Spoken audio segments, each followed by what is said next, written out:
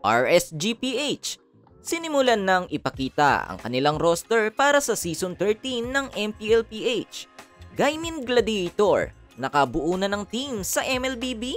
Yan ang mga mainit na balita mula sa mundo ng MLBB hatid sa inyo ng Just ML News. Ako nga pala si Brokey, ang makakasama nyo ngayong araw para bigyang boses ang mga topic na yan. Pero bago yan, i-click mo na ang subscribe button at notification bell para una ka palagi sa mga may init nating balita. Isang buwan na lang mga tropa at magsisimula na ang MPLPH Season 13. Pero bago magumpisa ang ating mga kinaabangang laban, roster reveal muna ng mga teams ang ating sinusubaybayan. And speaking of teams, eh mukhang mauuna na nga ang mga Raiders na magpakita ng kanilang roster para sa nalalapit na season. Bagamat may mga nagpaalam na o nawala tulad ni Soul at Eman, marami pa rin naman ang mag stay para sa RSGPH. Tulad na lang ng inanunsyo noong nakaraan ng RSG patungkol sa pananatili ni Aqua at ni Light. Sumunod dyan mga tropa, ang dalawa na sila Makunats o Nuts at RTZ. Habang sa February 12 naman, ia-anunsyo ang mga natitirang miyembro. Ika nga nila sa video sino ang magiging gold laner. Gayong dalawa kasi mga tropa ang mid laner ng RSGPH, si Aqua at si RTZ. May mga ibang nagsabi na si Kosei na daw ito. May ilan naman na si Kelra ang gusto. Pero ang tingin ng iba, it's Aqua time para sa gold lane. Kung inyo kasing maaalala, noong Season 6 at Season 7 ng MPLPH, gold laner ang role ni Aqua sa team ng Signal Ultra at Blacklist International. Ibig sabihin lang nito, mid laner RTZ ang makikita natin. Kung usapang roster, hindi naman papahuli ang isa sa mga higanteng team sa esports scene, lalo na sa Dota, ang Gaimin Gladiators. Noong nakaraan lang, ating ibinalita ang di umanong balak ng GG na pumasok sa esports ng MLBB. Partikular sa NACT o North America Challenger Tournament.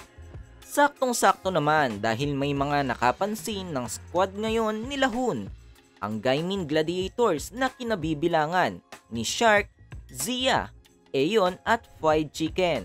Sila na nga kaya talaga ang maglalaro para sa Gaimin? Kahit ang region ng North America eh naghahanda na rin dahil sa Marso na nga ang umpisa ng nasabing liga idagdag mo pa na ang mananalo sa liga na ito ay makakapasok sa MSC 2024 o ang bagong Mid-Season Cup na mas pinalaki ang prize pool. Kaya naman hindi nakakagulat na pati ang ibang higanteng organisasyon ay gusto na ring pumasok sa MLBB. At dahil nga masyado na ata tayong seryoso, magpalamig muna tayo at tumawa sa nakakatawang pangyayari sa pagitan ni Irad at R7. Teach me Tagalog lah. Yeah, I teach you Tagalog. Yeah, Okay, okay. teacher. I only know Pritong buke, subo mo titiko. Hoy, jangan anjing. Kenapa anjing? Toxic bro, jangan toxic. I teach you good Tagalog, okay? Ang aking Ang aking edits etits ay ay sobrang liit. sobrang liit. Anjing. Apa anjing? Kenapa tiba-tiba anjing?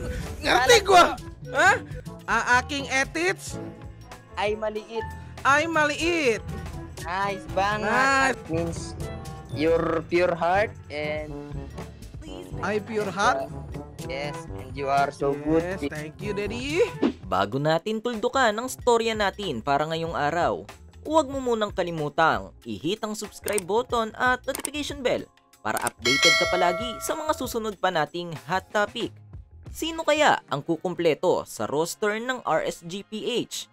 Magawa kaya nila Hun na dalhin ng Gaimin sa MST?